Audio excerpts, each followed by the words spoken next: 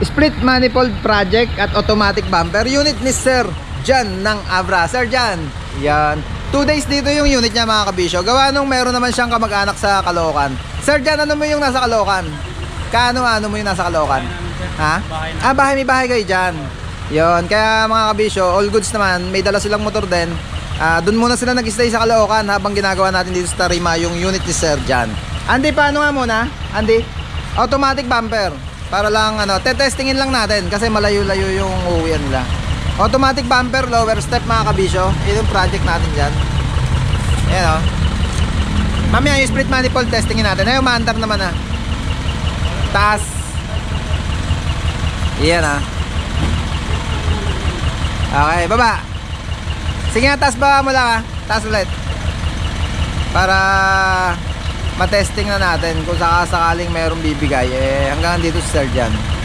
Malayo kasi uwian lang mga kabisyo. Sa Abra pa. Sir Jan, saan ka sa Abra? Pilar pilar. Pilar. Iyon mga kabisyo. Ah, shoutout dyan sa mga kabisyo natin sa Pilar, Abra. Andy, pa-rep nga konti. Okay. Iyon. Ayun yung split manifold mga kabisyo. Dati na tong out na to, pinay-stainless na din Sir Jan. Ah, ito yung nagapak natin yung lumabas. Ah, Sir Jan.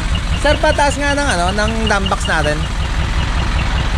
Andy, taas mo nga. Andiyan ka naman eh. Si Andy na lang. Ayan. Andy, dump box. Eh si Andy oh, sa tarima ni Brian naka, naka-duty ngayon yan. Ah, doon siya muna at meron siyang mga inaayos-ayos doon na okay na, okay na. May bumper kasi yung pinagpalitan nandito eh. Oh. Inuwi ni Sir Jan at meron daw bumibili sa kanila. Yan, pakita natin. Brian. Yan mga kabisyo, yung setup natin. Yung gamit na natin dyan, yung gawa sa tarima natin na ah, lagapak na muffler. Yung anti-vibration natin. Tapos yung in-split natin dito mga kabisyo sa manifold. Ayan, ganun lang naman. Ganun mag-split ng tambucha mga kabisyo. All good. Bomba konti konti pa. Ah, kaya. dito tayo sa harapan. Eh, pero si Brian. Ayan, si Brian. Doon na doon muna inarbor ni Brian muna si Andy. Ah, doon muna si Andy at meron siyang mga kinukuting-ting pa doon. Ba muna yung bumper Andy. Nasisilaw pa si Andy oh. Sa spotlight natin. Naka chrome face na mga kabisyo. Yung unit ni Sir John. Ganyan na nung dumating. Dinagdagan lang natin ng wiper arm garnish mga kabisyo.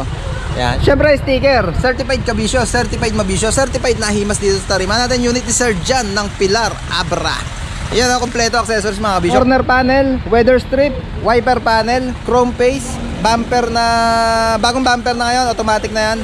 Lower step, ah, lower door, ah, rim cover, door handle. Ano ba ba yung ah, tail light? Oh, maganda yung tail. Ay, ikot tayo sa likod sandali. Yan, pakita natin yung tail light ni Sir Jan. Ayun oh. Naka mudguard na rin yan mga kabisyo. Ganyan na yung setup nung dumating. Ah, yun nga, sabi nga kanina, automatic bumper tsaka split manifold project. Certified kabisyo, Sir Jan ng Pilar Abra.